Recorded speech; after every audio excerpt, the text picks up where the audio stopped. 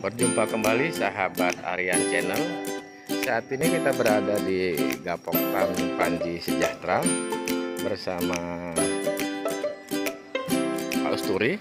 Dan hari ini aktivitas Pak Usturi kedatangan tamu dari TNI.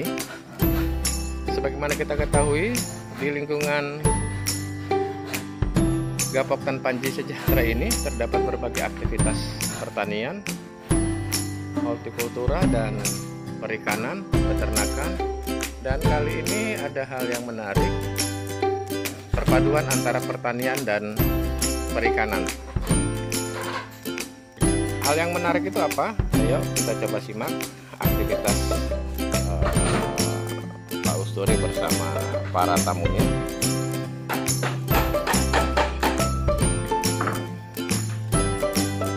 Baik, ada beberapa informasi yang akan kami sampaikan. Dan bapak-bapak beraktivitas saja seperti biasa. Dan kami menyampaikan informasi ini bahwa Pak Usturi sedang melakukan pendampingan kepada eh, rekan-rekan uh, Babinsa dari Panji dari Kelurahan Panji. Dan ada dua personil. Nanti kita bincang-bincang apa sih aktivitas pada hari ini selamat pagi Pak Edi Selamat pagi Pak Rian. ya aktivitas hari ini apa Pak Edi Eh, untuk aktivitas hari ini kita membuat eh, apa namanya media untuk tanam padi. Wah, menarik nah sebelum masuk ke media tani nah Bapak kan sebagai prajurit atau eh, anggota kesatuan TNI nah posisi Pak Edi saat ini sebagai apa Nah, saya sebagai. Nah, artinya sebagai Babinsa ini kan akan bersentuhan langsung dengan masyarakat ya kegiatan-kegiatan Pak Edi. Ya betul Pak. Bagaimana sih peran Babi- Babinsa di masyarakat Pak? Eh, peran babinsa di masyarakat adalah kita pendampingan dan pengawasan kemudian monitor kegiatan masyarakat yang ada di sekitar kami. Dan tentunya kegiatan-kegiatan yang produktif pastinya Pak ya. Ya betul. Nah, hari ini ada dua personil nih. Eh, keberadaan dua personil ini bisa dijelaskan Pak Edi. Mereka dari mana dan bagaimana penugasan mereka? Dua anggota personel yang ini mereka berasal dari anggota Kodim atau BIM yang diperbantukan pembuatan media tanam padi apung Pak. Seperti itu. Ya, sambil belajar dan mencari ilmunya. Baik, terima kasih Pak Edi. Eh, tadi kita sudah mendengarkan apa sih peran Babinsa sehingga eh, mereka berada di sini dan ternyata fungsinya sangat luas dan peran mereka eh, terhadap aktivitas-aktivitas masyarakat terlibat langsung dalam hal-hal yang eh, produktif tentunya dan yang paling penting adalah eh, menjaga stabilitas keamanan. Begitu Pak Edi ya?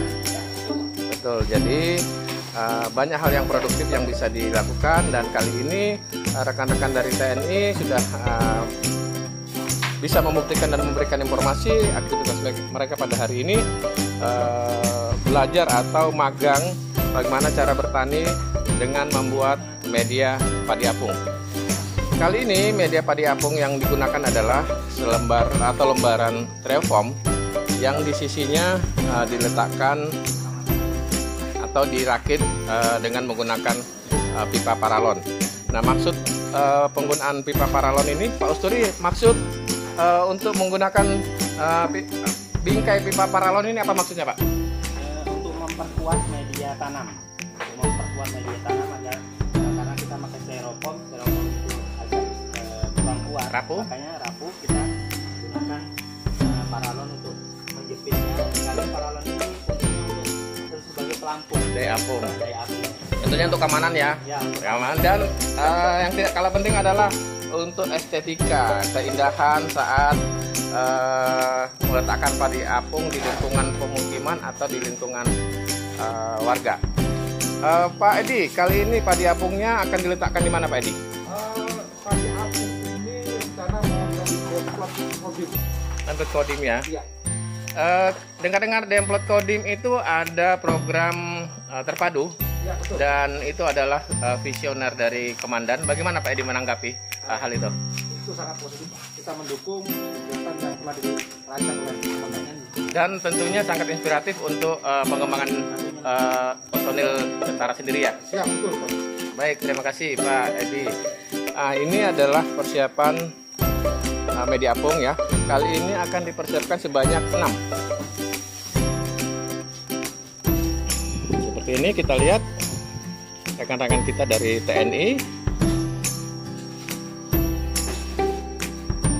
Semoga ilmu ini dapat bermanfaat dan uh, tentunya TNI saat melakukan pendampingan, berinteraksi dengan masyarakat, nantinya itu juga bisa menjadi bahan uh, inspirasi dan uh, menjadi tentunya bisa menjadi peluang untuk pendapatan warga.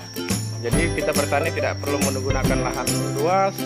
Kita banyak cara saat ini dapat memanfaatkan berbagai media dan sarana untuk melakukan aktivitas pertanian. Baik, kita berjumpa kembali pada uh, tahapan berikutnya uh, saat nantinya akan dipersiapkan bibit dan media tanam padi apung berupa gelas atau uh, kemasan minuman yang sudah tidak terpakai dan tentunya menggunakan pupuk-pupuk uh, yang organik. Terima kasih, sampai berjumpa kembali.